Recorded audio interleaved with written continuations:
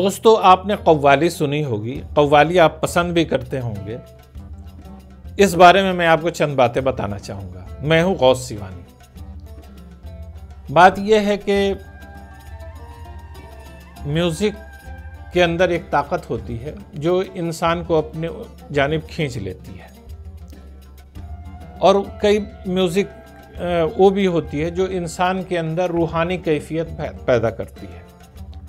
तसव्वुफ में भी म्यूज़िक को इसी तरह से लिया जाता है। लेकिन ऐसा नहीं कि सभी सूफ़ी इसे पसंद करते हों। सब सिलसिलों में इसे पसंद किया जाता हो।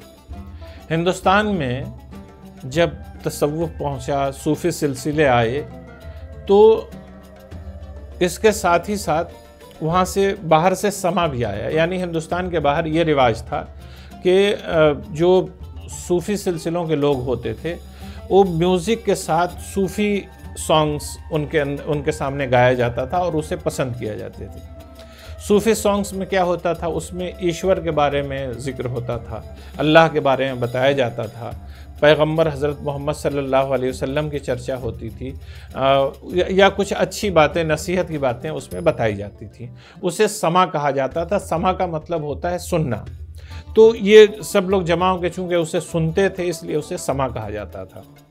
जब वो परंपरा हिंदुस्तान में आई तो हिंदुस्तान में उसने एक अलग रूप लिया, जिसे कव्वाली कहा जाना लगा तो कव्वाली के बारे में ये कहा जाता है कि इसकी ईजाद अमीर खुसरो रहमतुल्लाह ने की। यानी एक अलग तरह की म्यूज़िक की परंपरा उन्होंने शुरू की, जो रूहानी म्यूज़िक की थी। लेकिन हिंदुस्तान में म्यूज़िक और रूहानियत का रिश्ता बहुत ही पुराना है। वेदों के ज़माने में भी इसका सिलसिला राइज था और यहाँ के मंदिरों में कीर्तन का सिलसिला चल रहा था इबादत खानों में कीर्तन का सिलसिला चल रहा था। तो ये चीज़ें हिंदुस्तान में बहुत पहले से राइज थी और उसे सूफियों ने भी अपनाया और इस म्यूज़िक के ज़रिए उन्होंने एक रूहानी पैगाम देने की कोशिश की। वो ख़ुद भी रूहानी पैगाम लेते थे और उसकी कैफियत उनके अंदर पैदा हो जाती थी। ले, और उसके साथ ही साथ वो दूसरों को भी इसके ज़रिए, म्यूज़िक के ज़रिए एक रूहानी पैगाम दिया करते थे, जिसे समा या कव्वाली कहा जाता था। लेकिन जितने सूफ़ी सिलसिले, हर सूफ़ी सिलसिले के अंदर इसका रिवाज नहीं है। हर सभी सूफ़ी कवाली सुनते हो, ऐसा नहीं है।